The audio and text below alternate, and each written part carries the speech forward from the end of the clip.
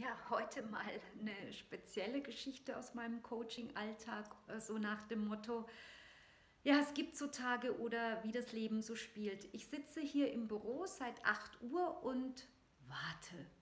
Ja, meine erste Kundin ist schlichtweg nicht erschienen, telefonisch nicht erreichbar, hat mir somit äh, ja, zwei Stunden Lebenszeit geschenkt ähm, der darauffolgende Kunde hat heute am frühen Morgen schon angerufen und ähm, sich entschuldigt, er kann leider nicht kommen, weil er krank geworden ist.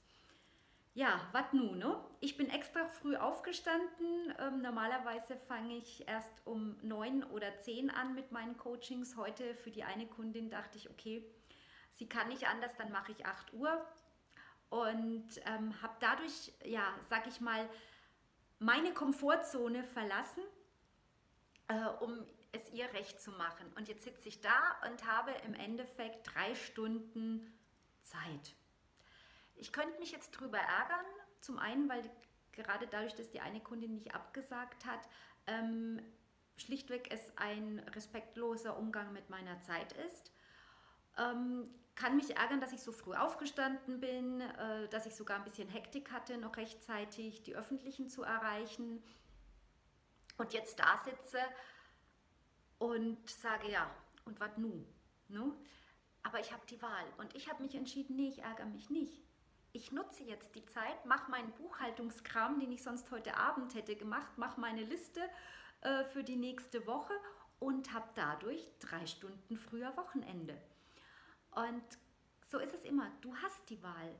Ärgerst du dich? Bist du sauer und lässt dir den ganzen Tag vielleicht sogar durch sowas versauen, wenn was nicht so funktioniert hat, wie du das gerne gehabt hättest? Oder sagst du, einmal kurz äh, abhaken, nach vorne gucken und das Beste draus machen? So, ne? Meistens, wenn irgendwas blöd läuft, wenn was daneben läuft, dann steckt auch ein Fünkchen Gutes drin. Man muss es nur sehen können auf der einen Seite, aber man muss es auch sehen wollen. Wie ist es bei dir? Wie gehst du mit solchen Situationen um? Geht es dir wie mir, dass du sagst, ja, pff, shit happens, machen wir das Beste draus? Oder bist du jemand, der sich dann so richtig ärgert, vielleicht sogar Magenschmerzen deswegen bekommt und es den ganzen Tag mit sich rumträgt?